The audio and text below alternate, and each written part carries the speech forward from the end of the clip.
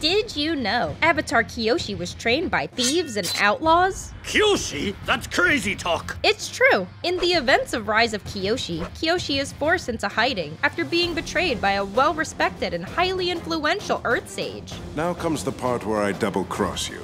Using the journal of her late parents, Kyoshi tracked down the only allies she could think of a group of outlaws called the Flying Opera Company. I don't know who this lady is, but I like her. Only then did Kyoshi start learning the four elements. Hey, you're smart, handsome, funny, not to mention you're the Avatar. You guys are great. It just goes to show whether they're a master or a thief, help can come from the most unexpected places. Personally, I don't really see the difference.